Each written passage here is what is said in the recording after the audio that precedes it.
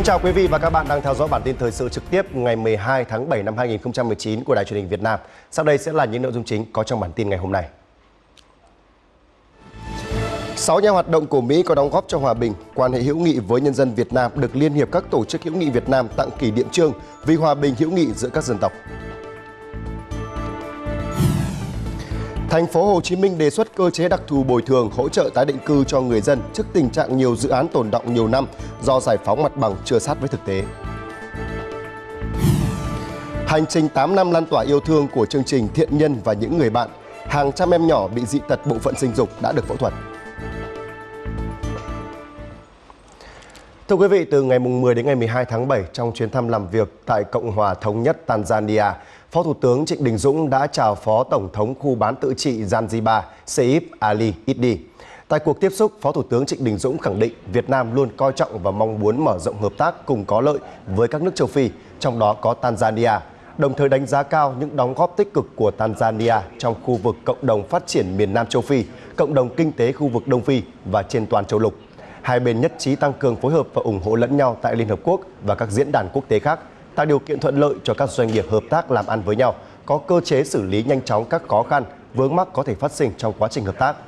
Phó Tổng thống khu bán tự trị Zanzibar cảm ơn Việt Nam đã tặng Zanzibar 10 giống lúa và Bộ Nông nghiệp Việt Nam hỗ trợ xây dựng các dự án nghiên cứu về phát triển lúa gạo, xây dựng Viện Nghiên cứu Hải Dương và Trung tâm Phát triển Thủy sản tại Zanzibar.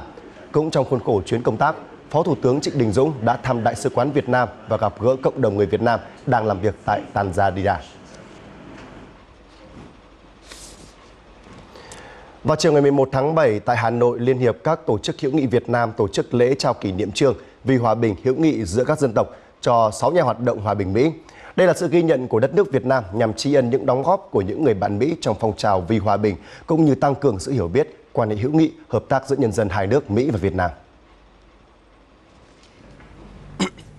Ông Frank Joyce, bà Judy Gamble và ông Alex Hing đã từng đến Việt Nam năm 1971 trong lúc chiến tranh ác liệt để tìm hiểu tình hình thực tế, bày tỏ sự ủng hộ đối với các cuộc đấu tranh chính nghĩa vì hòa bình, độc lập dân tộc và thống nhất đất nước của nhân dân Việt Nam.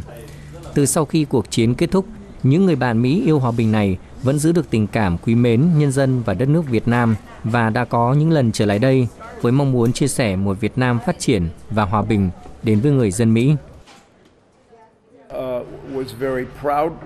Tôi cảm thấy rất tự hào khi được trao kỷ niệm trương này. Như tôi có nói trong lúc lên nhận kỷ niệm trương, thì với chúng tôi, những người hoạt động phản đối chiến tranh, thì chúng tôi đúng ra nên tặng lại kỷ niệm trương cho người dân Việt Nam, bởi chính họ đã là nguồn cảm hứng, đem lại nhiều bài học cho chúng tôi cho đến tận bây giờ.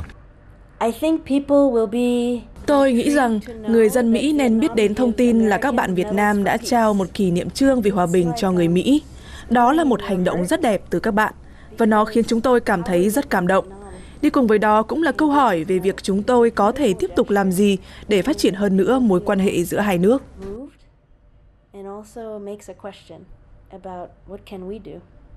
Kỷ niệm trương vì hòa bình hữu nghị giữa các dân tộc chính là sự ghi nhận của Liên hiệp các tổ chức hữu nghị Việt Nam dành cho những cá nhân tổ chức đã có đóng góp to lớn trong việc củng cố và tăng cường quan hệ hữu nghị giữa nhân dân các nước với nhân dân Việt Nam vì sự nghiệp hòa bình, hữu nghị, hợp tác và phát triển.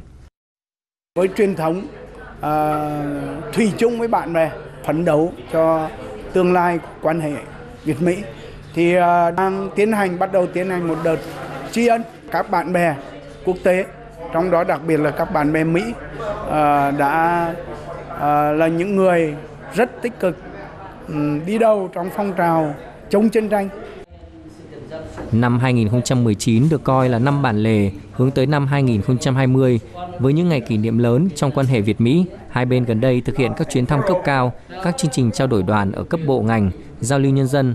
Thông qua đó, thúc đẩy và phát triển mối quan hệ hợp tác ngày càng rộng mở và sâu sắc giữa hai nước Việt Nam và Mỹ. Tại kỳ họp 15 Hội đồng nhân dân thành phố Hồ Chí Minh khóa 9 vào chiều ngày hôm qua, đa số các đại biểu kiến nghị cần giải quyết dứt điểm vụ việc tại khu đô thị mới Thủ Thiêm để người dân yên tâm ổn định cuộc sống. Các đại biểu đề nghị Hội đồng nhân dân thành phố chính thức cùng giám sát việc thực hiện kết luận thanh tra về khu đô thị mới Thủ Thiêm. Sắp tới thành phố Hồ Chí Minh sẽ tổ chức hội nghị cán bộ chủ chốt để thông tin về dự án khu đô thị mới Thủ Thiêm. Tại hội nghị sẽ công khai thông tin về hướng giải quyết, chính sách, giải pháp cụ thể khắc phục bồi thường cho người dân tại đây. Lãnh đạo thành phố cần cho đại biểu Hội đồng Nhân dân thành phố tham gia họp để nắm bắt thông tin, qua đó có thể trả lời các câu hỏi của người dân một cách nhanh nhất. Thành phố Hồ Chí Minh hiện có hơn 130 dự án tồn động trong suốt 7 năm qua, vừa gây thất thu ngân sách, vừa làm ảnh hưởng môi trường kinh doanh. Một trong những nguyên nhân chính là vì vướng giải phóng mặt bằng, cụ thể là thẩm định giá đất nông nghiệp chưa sát với thực tế, dẫn tới bồi thường, hỗ trợ và tái định cư chưa hiệu quả. Đứng trước thực tế này, thành phố Hồ Chí Minh đã kiến nghị một cơ chế đặc thù trong bồi thường, hỗ trợ tái định cư. Hầm chui, nút giao thông An Sương, một trong sáu công trình trọng điểm của thành phố Hồ Chí Minh chỉ mới được hoàn thành một nửa. Nửa còn lại, một năm sau phải tạm ngừng thi công trong khi lẽ ra công trình này phải hoàn thành trong năm 2018. Lý do là huyện Hóc Môn chưa giải phóng được mặt bằng. Theo báo cáo, trong gần 0,3 hecta phải thu hồi để bàn giao làm hầm chui. Số đất nông nghiệp của huyện chiếm đến 60%. Nhưng đa số hộ nằm trong diện thu hồi đều không đồng ý với mức bồi thường theo giá đất nông nghiệp. Bởi theo họ, mức giá này quá chênh lệch so với giá đất ở, không phù hợp với mức giá thị trường. Giá đất ở trung bình khoảng là trên dưới 20 triệu à, thì trong khi đó thì giá đất nông nghiệp chỉ có trên dưới 2 triệu thì nó chênh lệch rất là lớn nó tới 10 lần theo các chuyên gia nếu thành phố xây dựng được cơ chế và quy trình riêng, công tác bồi thường, giải phóng mặt bằng của một dự án sẽ rút ngắn còn khoảng 300 ngày, tức là chưa đầy 12 tháng, đồng thời chia dự án ra các phần riêng rẽ. Ví dụ là nó có hai cấu phần, một cấu phần là đầu tư xây dựng và một cấu phần là bồi thường, hỗ trợ dân cư. Thì bây giờ mình, cái công tác bồi thường, hỗ trợ dân cư để mình có đất, mình triển khai thực hiện dự án thì nó phải đi trước đi trước và cái công tác đầu tư xây dựng thì nó đi sau thì nó mới phù hợp ngoài ra cơ chế đặc thù cũng sẽ giúp thành phố xây dựng hệ số điều chỉnh giá đất riêng phù hợp với giá đất thực tế của thành phố nhiều năm qua vướng mắt mà các quận huyện gặp phải nhiều nhất là vì thẩm định giá đất nhất là đất nông nghiệp giá thấp thì dân không chịu giá cao thì lại vượt quá quy định pháp luật. Càng kéo dài, số tiền đền bù càng lên cao, công tác bồi thường, hỗ trợ, tái định cư, vì thế càng khó giải quyết. Thành phố sẽ cùng với Bộ Tài nguyên tiên phong việc thí điểm xem xét lại việc định giá đất phù hợp. Ừ. À, như đồng chí Bộ trưởng có nêu đúng không? Dùng công thức gì, giá đất gì để việc định giá đất nó an tâm, nó nhanh. Yêu cầu thực tế này lại càng trở nên khả thi hơn khi người đứng đầu chính phủ đã thể hiện sự ủng hộ đối với thành phố Hồ Chí Minh. Ngay buổi làm việc vào giữa tháng 4 với thành phố, Thủ tướng Nguyễn Xuân Phúc đã đồng ý về mặt chủ trương và giao cho các bộ ngành có liên quan nghiên cứu thực hiện. Lương tối thiểu vùng năm 2020 sẽ tăng bình quân 5,5%. Đây là kết quả của phiên họp thứ hai về mức tăng lương tối thiểu vùng do Hội đồng Tiền lương Quốc gia diễn ra vào chiều ngày hôm qua. Cụ thể, vùng 1 tăng lên 4,42 triệu đồng trên một tháng, vùng 2 tăng lên 3,92 triệu đồng trên tháng, vùng 3 tăng lên 3,43 triệu đồng trên tháng và vùng 4 tăng lên 3,07 triệu đồng trên tháng. Các chuyên gia lao động đánh giá mức tăng này đáp ứng 100% mức sống tối thiểu cho người lao động. Dự kiến phương án tăng 5,5% lương tối thiểu vùng sẽ được Hội đồng Tiền lương Quốc gia trình lên chính phủ để quyết định mức tăng lương năm 2020. Cán cân thương mại của Việt Nam đã có sự xoay chuyển bất ngờ, xuất siêu tới 1,6 tỷ đô la Mỹ trong 6 tháng đầu năm nay, thay vì nhập siêu so với ước tính được công bố trước đó.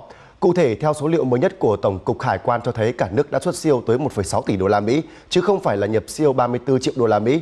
Việc xuất siêu này sẽ giúp cho cán cân thương mại thặng dư, giảm áp lực lên tỷ giá hối đoái, dự trữ ngoại hối và tới cả tăng trưởng kinh tế. Theo Bộ Công Thương, từ đầu năm đến nay, mặc dù có sự thâm hụt thương mại trong một vài tháng, nhưng tính chung 6 tháng đầu năm, cán cân thương mại của Việt Nam vẫn duy trì đà xuất siêu. Thưa quý vị, Thương trường quốc tế Hồng Nguyên hay còn được gọi một cái tên gọi khác đó là Trung tâm mua sắm chuyên kinh doanh chuỗi tour du lịch không đồng có lượng khách rất lớn tại cửa khẩu Móng Cái, tỉnh Quảng Ninh. Ngày 11 tháng 7, lực lượng chức năng kiểm tra đột xuất trung tâm này. Bước đầu xác định hàng hóa bày bán đây đều là hàng giả và có giá trị lên đến hàng chục tỷ đồng. Tổng cục Quản lý thị trường đã phối hợp với Cục An ninh Kinh tế, Cục Cảnh sát Hình sự, Cảnh sát Cơ động và Bộ đội Biên phòng đột xuất kiểm tra trung tâm thương mại Hồng Nguyên ờ, có diện tích là gần 1.000 m2 nằm tại phường Trần Phú, thành phố Móng Cái, tỉnh Quảng Ninh. Tại cửa hàng bày bán đầy đủ từ thuốc, mỹ phẩm các loại, vàng trang sức và đặc biệt là đồng hồ, túi sách hàng hiệu với các thương hiệu nổi tiếng như Gucci, Louis Vuitton, Boli, Salvatore. Các mẫu đồng hồ nổi tiếng như Rolex, Omega, Patek Philippe cũng được bán tại Thương trường Quốc tế Hồng Nguyên. Để vào được trung tâm mua sắm này, khách du lịch sẽ được hướng dẫn viên người Việt đưa tới đây. Nhưng các hướng dẫn viên này cũng không được phép vào trong mà phải ngồi đợi khách ở phía ngoài.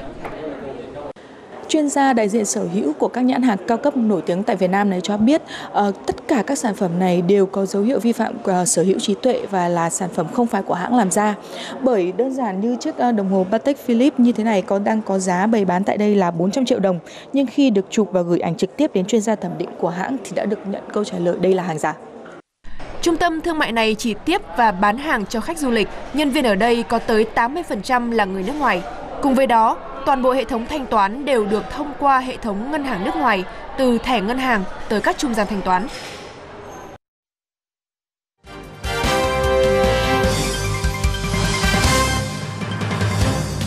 Sau đây sẽ là những thông tin nổi bật được đăng tải trên báo điện tử số ra sáng ngày hôm nay. Thưa quý vị, hàng không Việt Nam có tỷ lệ đúng giờ thuộc top đầu thế giới là tiêu đề một bài viết trên báo Lao động. Theo số liệu mới nhất mà Cục Hàng không công bố 6 tháng đầu năm 2019, tổng số chuyến bay khai thác của cả ngành hàng không Việt Nam là gần 154.000 chuyến bay, trong đó có hơn 130.000 chuyến bay đúng giờ, tương đương với tỷ lệ đúng giờ là 84,8%. Trong bối cảnh hạ tầng hàng không đang quá tải, tỷ lệ đúng giờ của các hãng hàng không Việt Nam được duy trì ở mức cao so với trung bình thế giới là một tín hiệu tích cực. Theo tạp chí điện tử Monviti của Pháp, Trung tâm xúc tiến thương mại nông sản thực phẩm quốc gia Pháp CNPA đã thực hiện một chiến lược quảng bá nông sản, thực phẩm Pháp tại Việt Nam.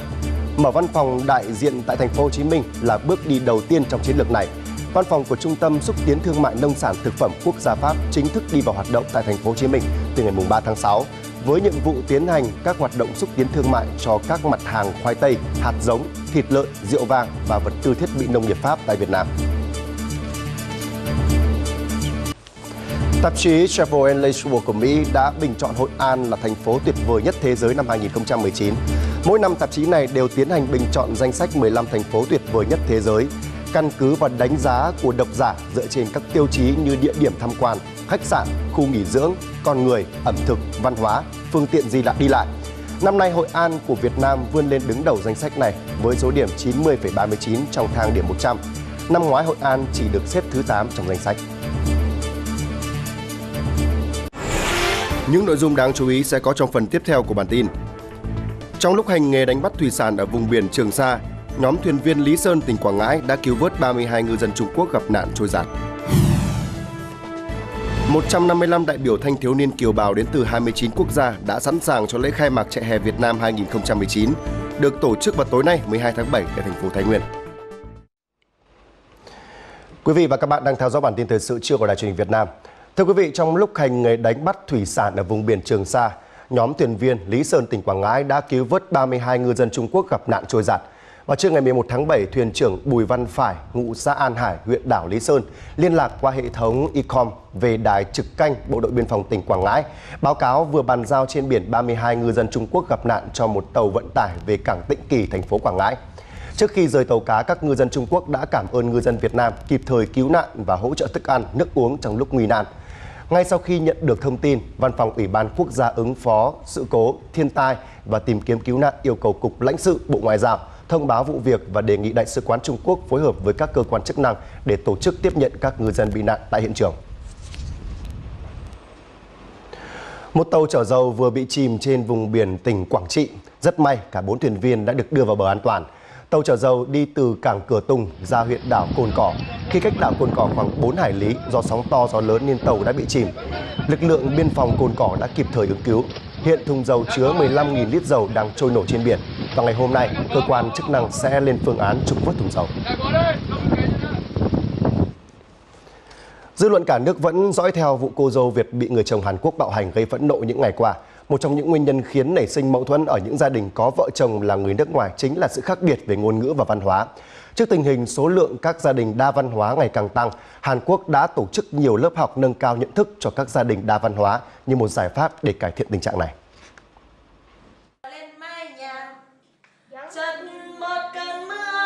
Các em nhỏ đang học một bài dân ca quen thuộc của Việt Nam. Cô giáo của các em chính là cô Ly, người Việt Nam. Cô đang dạy văn hóa Việt cho lớp học. Cô Ly đã kết hôn với một người đàn ông Hàn Quốc và sống ở xứ sở Kim Chi 10 năm nay. Cô là mẹ của hai cô con gái và đang là thành viên của một gia đình đa văn hóa. Cô đã chọn cách thu hẹp sự khác biệt về văn hóa bằng cách quảng bá văn hóa của đất nước mình. Tôi muốn truyền niềm tin cho các con tôi và quảng bá một hình ảnh tích cực về quê ngoại của chúng. Cô Moon đến từ Trung Quốc. Cô cũng đang tham gia giảng dạy một lớp học đa văn hóa. Lớp của cô đang dạy về văn hóa Trung Quốc và các em nhỏ cũng rất hứng thú. Thật dễ dàng để hiểu về Trung Quốc thông qua việc chơi các trò chơi và mặc những trang phục truyền thống của họ. Cô Moon cảm thấy buồn khi nghe thông tin về những vụ bạo lực gần đây liên quan đến các gia đình đa văn hóa tại Hàn Quốc. Tuy nhiên, cô vẫn tin rằng nếu mọi người tìm hiểu về các nền văn hóa khác nhau ngay từ khi còn nhỏ thì sẽ tránh được những sự việc đáng tiếc xảy ra do khác biệt về văn hóa và ngôn ngữ. Tôi muốn làm bất cứ điều gì có thể để thúc đẩy sự hiểu biết và tôn trọng trong một xã hội đa văn hóa. Ước tính số người sống trong các gia đình đa văn hóa ở Hàn Quốc đã lên tới một triệu. Dự kiến chạy hè Việt Nam 2019 sẽ khai mạc vào lúc 19 giờ tối nay ngày 12 tháng 7 tại thành phố Thái Nguyên. Và ngay trong tối ngày 11 tháng 7, 155 đại biểu thanh thiếu niên kiều bào đến từ 29 quốc gia đã tích cực tập luyện cho lễ khai mạc. Ghi nhận của phóng viên VTV4 đồng hành cùng với chạy hè Việt Nam năm nay.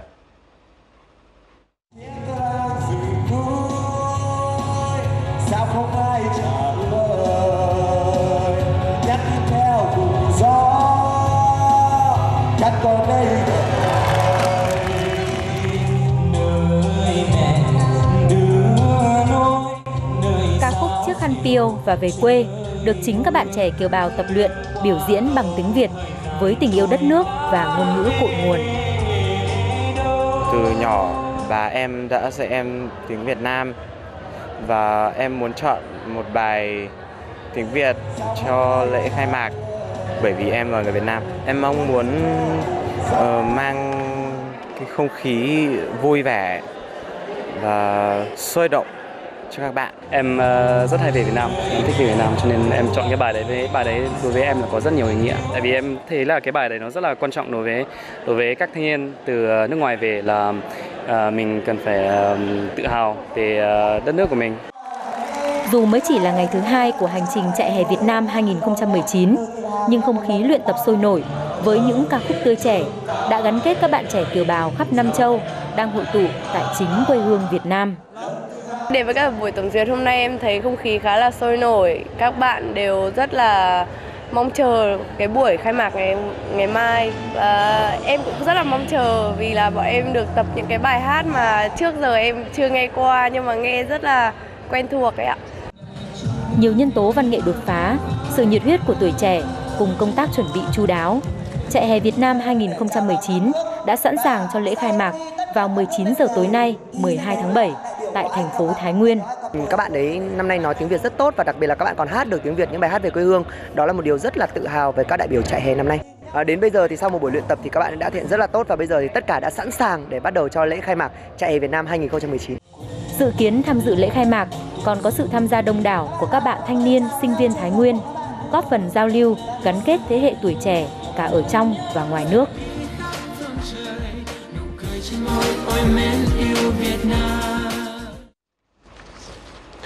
Thưa quý vị, cuộc sống vẫn luôn lấp lánh sắc màu của sự yêu thương, sự sẻ chia thầm lặng. Hẳn nhiều người trong chúng ta vẫn còn nhớ đến câu chuyện cậu bé thiện nhân 13 năm trước bị bỏ rơi, bị thú rừng ăn mất một phần cơ thể và được chị Mai Anh đón về nuôi nấng. 13 năm qua, hành trình cậu bé thiện nhân lớn lên cũng là hành trình yêu thương được lan tỏa, chữa lành vết thương cho hàng trăm em nhỏ và nhân lên yêu thương trong ngàn vạn tấm lòng. Chơi trò thăng bằng Giúp mẹ nấu cơm Thậm chí là trượt tuyết từ đỉnh núi. Đây chính là thiện nhân Người được các bạn gọi là mũi tên vàng Dù chân phải dùng nạng Thấm thoát đã 13 năm Trải qua 9 cuộc phẫu thuật tái tạo cơ thể Vượt qua mọi soi mói, kỳ thị Để lớn lên, bình thản và vui vẻ. Mẹ Mai Anh là người cho nhân tất cả những điều ấy. Gì nữa? Có sức mẹ Lớn lên con chăm sóc mẹ rồi, mẹ nhớ rồi. Thiện nhân luôn luôn là một thằng bé can đảm và bản lĩnh. Đôi lúc cái sự can đảm đấy trong đấy nó cả là sự chấp nhận nữa. Nên là một người mẹ ở cạnh một đứa con mà trong con người cái đứa trẻ nó có cả bao gồm cả cái sự chấp nhận nữa thì uh, thương thằng bé rất là nhiều. Cái sự xuất hiện của thiện nhân giúp cho mọi người thấy cái giá trị của cuộc sống nhiều hơn. Trái tim yêu thương của người mẹ được tiếp sức bởi nhà hoạt động xã hội Great Crab, rồi bác sĩ Roberto De Castro và hàng chục bác sĩ từ khắp nơi trên thế giới. Hơn 400 em nhỏ bị dị tật bộ phận sinh dục đã được phẫu thuật. Đã từ lâu tôi muốn tham gia một hoạt động như thế này. Gia đình tôi cũng hoàn toàn ủng hộ. Nhiều ca bệnh khó đang chờ và tôi cũng mong được gặp các đồng nghiệp tài giỏi của mình ở Việt Nam. Chưa một lần nào trực tiếp kêu gọi hỗ trợ, nhưng quý thiện nhân và những người bạn cứ âm thầm nhận được quyên góp từ khắp nơi. Những đêm ba lê, hợp sướng, rồi vẽ tranh quyên tiền cho quỹ, được chính các bạn nhỏ hào hứng tham gia. Cũng trong những ngày này, cứ 5 giờ sáng, một chàng trai trẻ lại bắt đầu chặng đường 70 km trên hành trình xuyên Việt để kêu gọi gây quỹ thiện nhân và những người bạn. Xin chào, tôi là Hoàng. Tôi đã bắt đầu hành trình chạy ý nghĩa nhất trong cuộc đời mình, đơn giản từ niềm cảm hứng về thiện nhân và người mẹ của em, 13 năm viết nên câu chuyện cổ tích từ sức mạnh của tình yêu và những giá trị nhân văn trong cuộc sống. Và trong phần cuối của bản tin, như thường lệ là thông tin về thời tiết.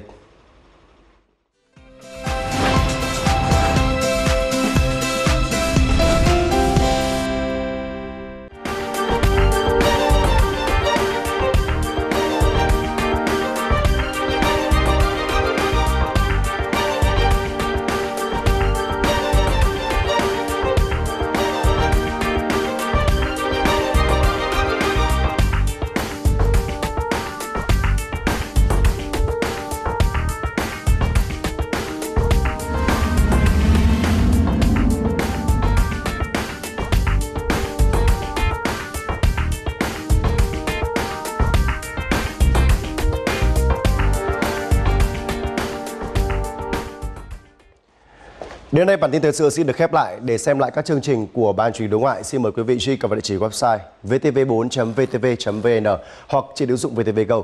Xin cảm ơn sự quan tâm theo dõi của quý vị. Xin chào và hẹn gặp lại.